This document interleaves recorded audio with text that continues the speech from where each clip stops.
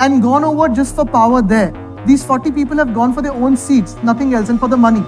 The chief minister, who's the current chief minister, has come and cried in a house because he was going to be arrested by a central agency. And he said, I have to hop out of the BJP, otherwise they will arrest me. महाराष्ट्राच्या राजकीय वर्तुळात आदित्य ठाकरे यांच्या एका विधानानंतर एकच खळबळ उडाली आहे मुख्यमंत्री एकनाथ शिंदे यांच्या बंडाबाबत त्यांनी एक मोठा गौप्यस्फोट केला त्यामुळे राजकीय वर्तुळात चर्चांना उधाण आलंय बंडापूर्वी एकनाथ शिंदे यांनी मातोश्रीवर येऊन आपल्याला भाजप सोबत जावं लागेल नाहीतर मला अटक होईल असं म्हटलं होतं.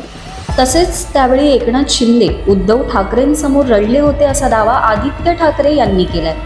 शिंदे गटाने केलेला बंड हा केवळ पदांसाठी आणि पैशांसाठी असल्याचा आरोपही त्यांनी केलाय. हैदराबाद येथील गीतम विद्यापीठात आयोजित केलेल्या एका परिसंवादात ते बोलत होते नेमकं आदित्य ठाकरे यांनी काय आरोप केले पाहूया. And gone over just for power there. These 40 people have gone for their own seats, nothing else, and for the money. The chief minister, who's the current chief minister, has come and cried in a house because he was going to be arrested by a central agency. And he said, I have to hop out of the BJP, otherwise they will arrest me.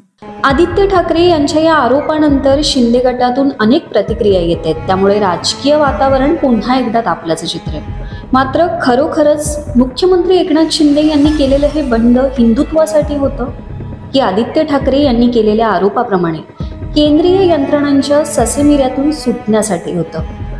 तुम्हाला याबद्दल काय वाटतं हे आम्हाला comment करून नक्की कळवा आणि राजकीय आणि इतर क्षेत्रातील अशाच नवनवीन अपडेट जाणून घेण्यासाठी डिजिटल प्रभातच्या फेसबुक पेज आणि यूट्यूब चॅनलला लाईक फॉलो सबस्क्राईब करायला विसरू नका.